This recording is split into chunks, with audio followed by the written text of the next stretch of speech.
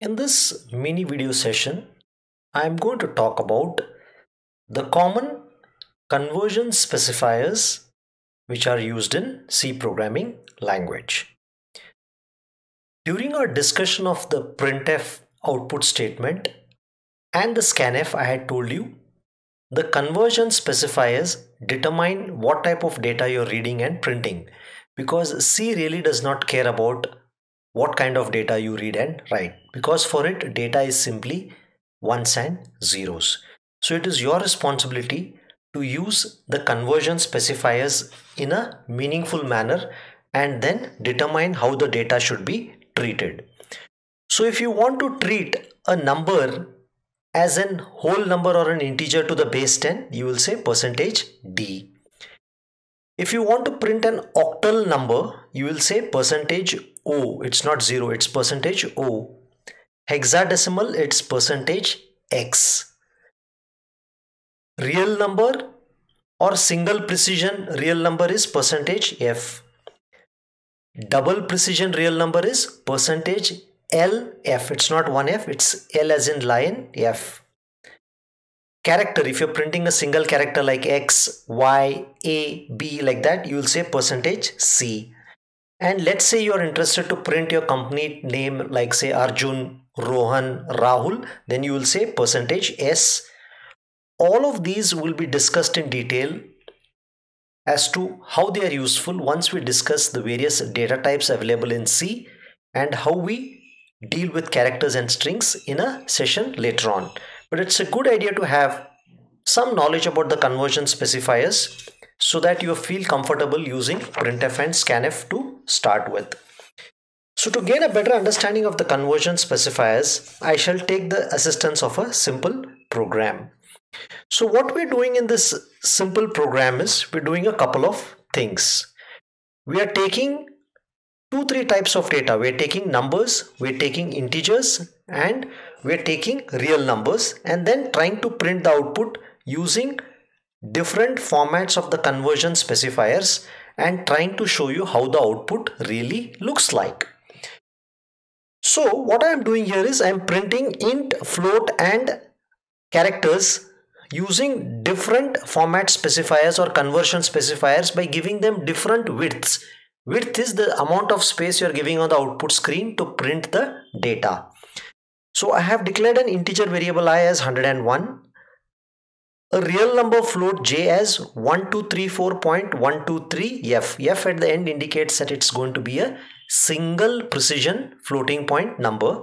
If you forget to mention the f, automatically it is initialized as a double point or a double precision floating point number.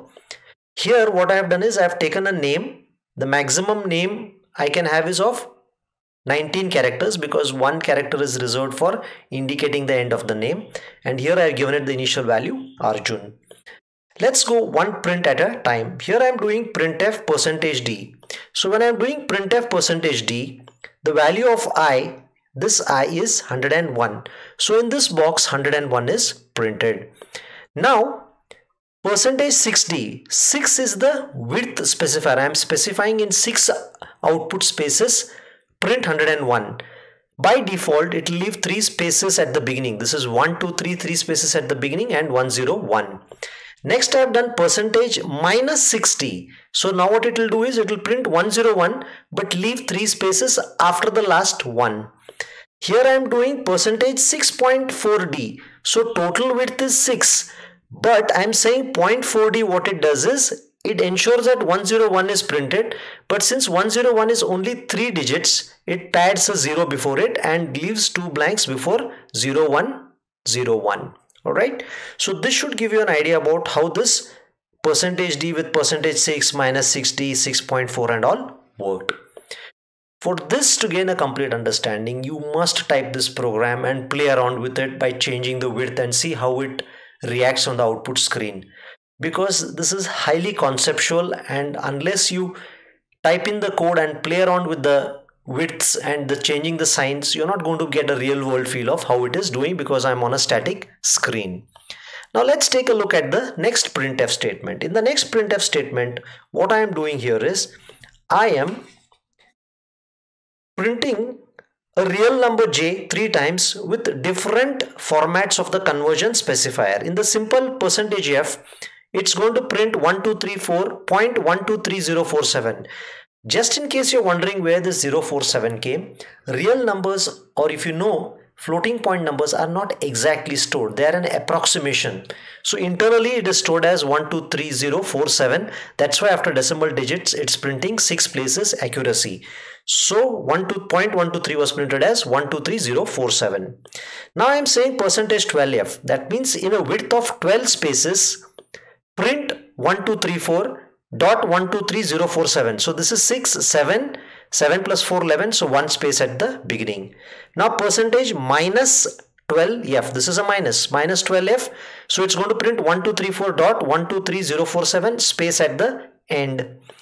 Now what i have is percentage 12.2 that means i have 12 width but i want only accuracy or precision up to two decimal places. That's why it is leaving six spaces at the beginning. It's using this four spaces 10 okay? So it's leaving six or no it's leaving five spaces. 5 plus 4 is 9 9 plus 1 is 10 and after the decimal places you have two accuracy of precision of two bits or two digits now this one 12.2e e stands for the exponential format so since i've given 0.2 it's going to print only 1.2 e raised to 003 okay so this is the exponential format of printing now let's go to the last one. Here I'm interested to print the name Arjun. So when I simply say percentage s name, it's going to print in the box very tightly without any space to the left or right. When I say 15 s, in a width of 15, it will print Arjun to the right and the remaining places at the beginning will be all blanks. This is 5, so there will be 10 blanks. Each of these line indicates one blank. Now minus 15s, it will print Arjun at the beginning and 10 blanks after the last character n. Now if I say percentage 15.2s, see what happens.